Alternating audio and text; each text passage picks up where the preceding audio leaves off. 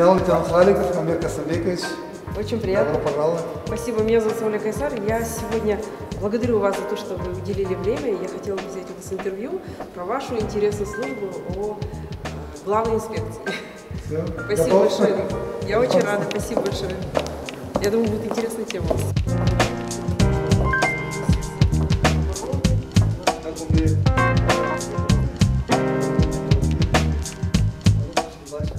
Состояние боевой готовности, дисциплины в войсках и уровень профессионального мастерства военнослужащих в Министерстве обороны на плановой основе проверяет главная инспекция.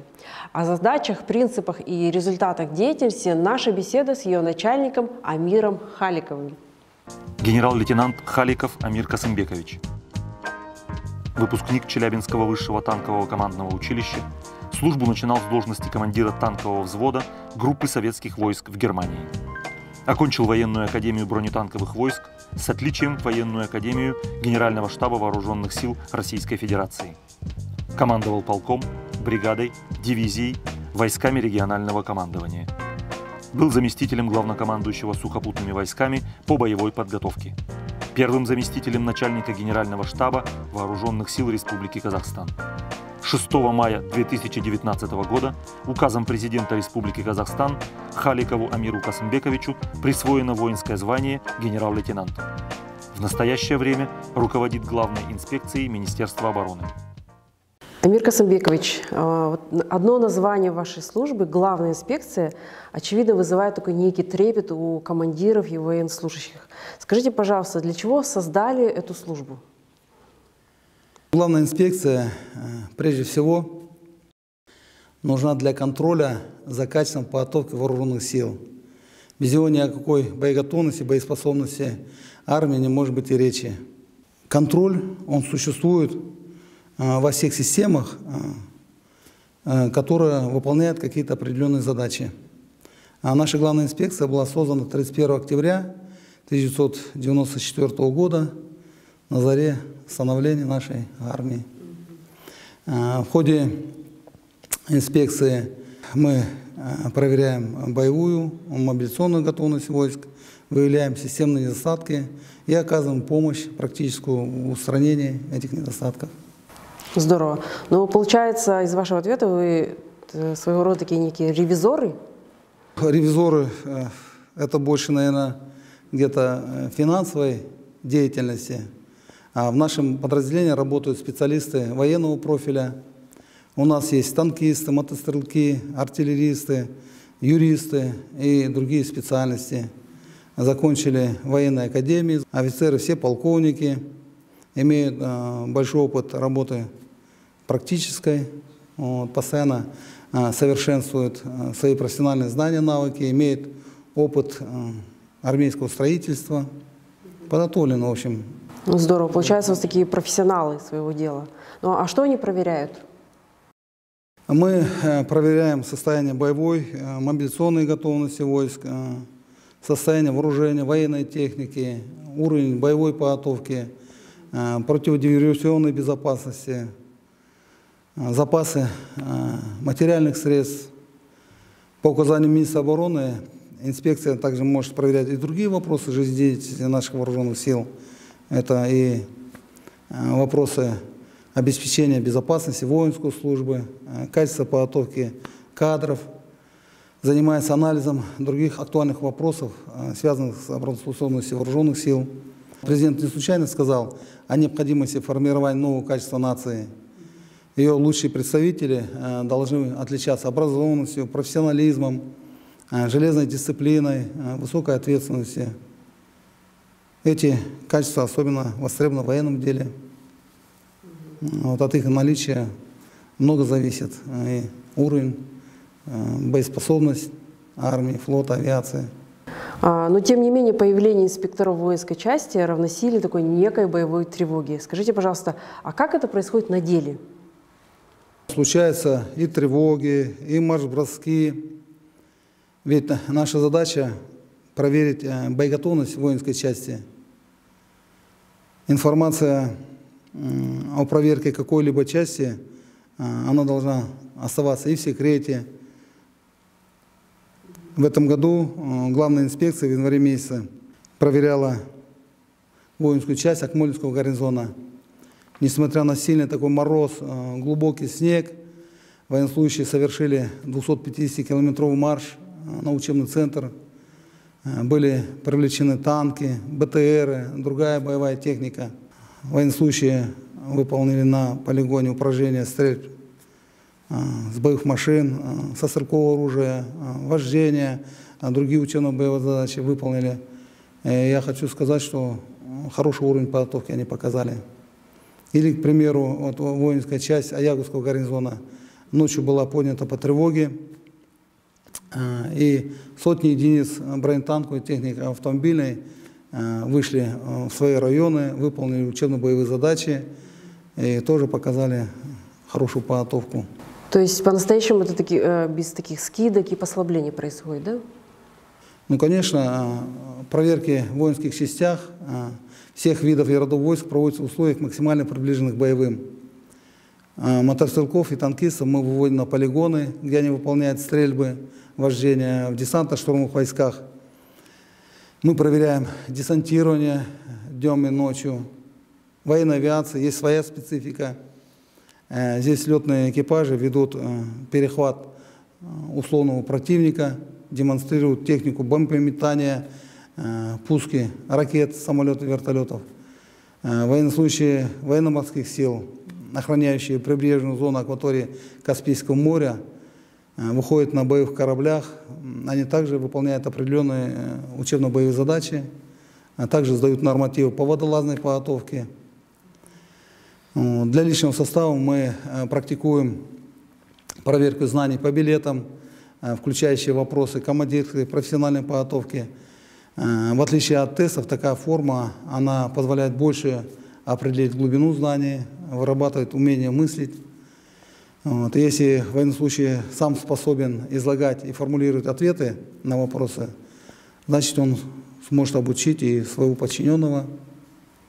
А, также мы проверяем умение офицеров, командиров работать над картой, принимать правильные решения, оценивают их действия и уровень подготовки – это компетентные офицеры, которые имеют большой опыт а, в войсках, в органах военного управления. А, но знаете, и все же отчеты главной инспекции ну, как бы не внушают какого-то оптимизма, и на ум приходит такой вопрос риторический, что делать и кто виноват?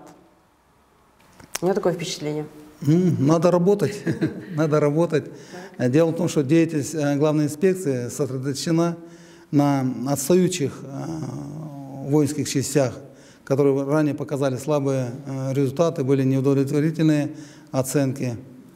Зачем проверять отличные части, где там и так уровень боевой подготовки высокий, все исправно, командиры занимаются обучением личного состава, и министр обороны, он нас направляет вот там, где видит проблему, э, где э, чувствует, что может уровень слабый, перепроверить надо.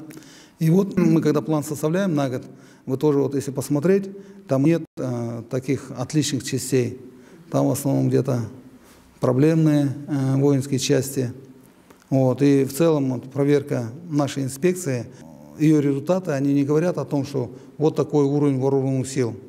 Это уровень, может быть, отстающих частей. То есть, вот как медики говорят, да, работаем в грязной зоне.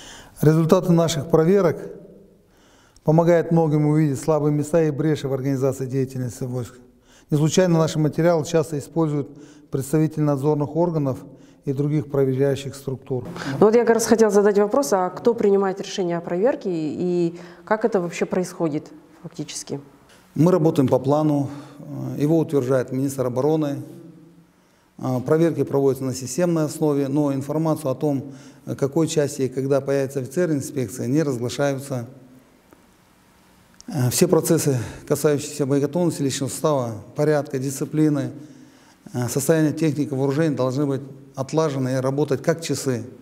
Э, при этом главная инспекция в любой момент без предупреждения может проверить качество работы данного механизма. Ну а в случае его неисправности выяснить причину, сделать выводы, дать рекомендации. Э, это вот наша задача. А в то же время большое внимание уделяется и профилактике э, работы. Поэтому для офицерского и сержантского состава мы проводим инструкторские методические занятия, Э, часть информации о положении дел воинской части мы черпаем из анкет, которые военнослужащие заполняют. Для уточнения данных проводим также личные беседы э, с личным составом, с гражданским персоналом. Вот так вот собираем информацию. Интересно. Э, проверяющий определяет требования не от себя, а он руководствуется, что сказано в руководящих документах. Есть приказ да, специальный такой по проверке войск. Вот. Поэтому Здесь все объективно. А, кроме того, мы изменили э, практику подведения итогов при проверке. Теперь командиры подразделения и военнослужащие узнают а, результат, а, оценку свою сразу же. И никто не может повлиять на этот результат. Да, на стрельбе проверяющий подходит к мишени, составляет оценку и сразу стреляющий на построение эту оценку говорит. Сейчас мы акты составляем уже в воинской части. Не как вот раньше комиссия отработала, приезжает сюда Нур-Султан, Здесь составляет акт, э, через там 10-20 дней только утверждает оценку. Вот это теряется и время, и э, актуальность. Скажите, пожалуйста, вот вы говорите о недостатках и упущениях э, в войсках. А что вы сами предпринимаете для улучшения этой ситуации и этой работы? Мы постоянно занимаемся совершенствованием форм методов работы. Накопленный опыт позволяет нам говорить об определенных результатах. Приезжая в гарнизон, мы стараемся максимально охватить проверкой все части этого данного гарнизона. При проверке составляем график проверки, например. Вот, на полигоне проверяем воинские части. Есть воинские части небольшие, незначительные. Есть большие воинские части, поэтому как бы оптимизируем свою работу. И это дает свои результаты. К примеру, раньше где-то за год мы около 50 воинских частей проверяли. При вот оптимизации своей работы мы а, в 4 раза увеличили а, количество проверяемых частей. Далее, значит, у нас офицеры, инспектора днем работают с личным составом, а, проверяют учебно-боевые задачи, стрельбы, нормативы, а в вечернее время уже наши офицеры работают над актами, вот, уже документально, и проверяют документацию этого в вечернее время. То есть э, хочу сказать, что работа инспекторов – это практически 24 часа в сутки. Но при этом, видите, вы успе, успеваете и делать свою работу, и улучшать как бы с, э, то есть эту систему, правильно? Да, ну самое главное, чтобы это было объективно, это было прозрачно, беспристрастно. Ну это здорово. Мне понравилось то, что вы рассказываете, именно как налажена эта система, и никак э, не допущены здесь какие-то ошибки или, ну, я думаю, что провалы. И у меня такой вопрос, э, налажены ли контакты и опыт с коллегами из других стран? Вот как это происходит? Главная инспекция не является уникальным изобретением наших вооруженных сил. Подобные институты существуют и в других странах. Э, наша инспекция совершенствуется. Ну, примерно задачи вооруженных силах иностранных государств примерно такие же. Вот, э, имеется в инспекциях задачи, как и у нас. Мы, конечно, э, поддерживаем контакты и, и с инспекцией Российской Федерации, и белорусской. Вы знаете, я хотела бы с вами обсудить такой момент, что действительность такова, что Информация о любом происшествии в вооруженных силах моментально попадает в СМИ или в социальные сети. Скажите, пожалуйста, сильно ли это мешает оборонному ведомству и как влияет на работу эти факторы? Мешают ли они? Мешает, это громко сказано. Помешать нам никто не может. Мы выполняем важнейшие задачи по защите суверенитета, территориальной целостности нашей страны, служим народу Казахстана. Э, стоим на страже мирного труда наших граждан вот, и будем выполнять свои задачи, несмотря ни на что. Дело здесь, наверное, в другом. Э, в целом мы не против критики, основанной на проверенных фактах, обстоятельствах, и всегда идем на диалог с населением, да, журналистами, вот, представителями общественности. Вот. Но в последнее время в социальных сетях, вот, в некоторых э, средствах массовой информации есть такие э, исковерканные, будем так говорить. Да, я, кстати, Они, тоже часто встречала. Да, новости или обсуждали неправильная информация, да. Да, да, да. Вот, порой вот этим э, грешат. Вот. Ну, наверное, надо больше верить журналистам. Журналист, он э, проверенная только, новость, проверенную информацию только дает. Да, ну Да. есть и такие, которые хотят хайпа и начинают вот что-то такое коверкать, Ну каким- да, под каким-то это- углом. Кто-то хочет погнаться за какой-то сенсацией, вот, терять чувство меры. Ну, я поняла. В, общем, вас не смутить никак. Ни блогерам, ни СМИ. Ну, конечно, приятно. Вот, например, в Аягузе мы ночью подняли столько единиц техники, и утром, значит, техника вся находится на указанных а, позициях, э, в указанных районах. И вот проезжают утром эти жители Аягуза и снимают, ой, ой, бай, случилась война, что ли, там, и такую информацию.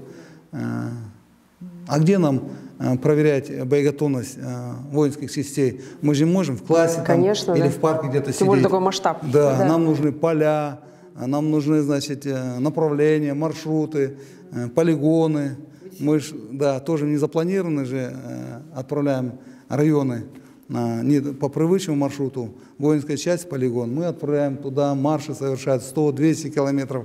Вот, поэтому, конечно, техника, э, личный состав, вот, понятно, выполняет задачу, но вот некоторые э, думают, что э, куда-то едут на усиление. Хорошо, что вы это сказали, что действительно, где обучаться. вы жителям, э, например, надо наоборот радоваться, да? говорите. Все нормально, все под контролем. да? Армия не спит, занимается своим делом, Да, выполняет задачи. да. Ночью там тревоги, э, неожиданно это все. Техника вся двигается.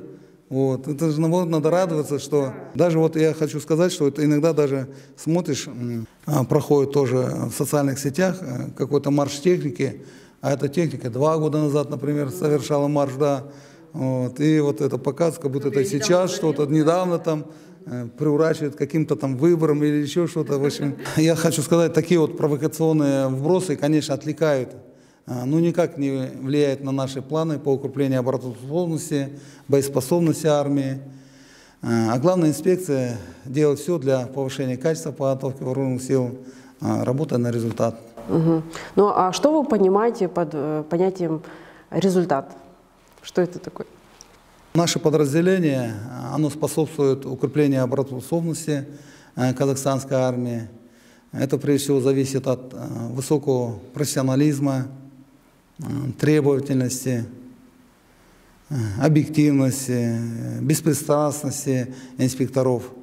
Э, После тщательного анализа результатов проверок мы вносим министру обороны э, предложение э, по дальнейшему строительству вооруженных сил, э, совершенствованию ее структуры, высокая боевая готовность, э, выучка, отличные показатели по всем направлениям деятельности войск. Вот э, результат неустанного труда офицеров, военнослужащих, в том числе и работы нашего подразделения.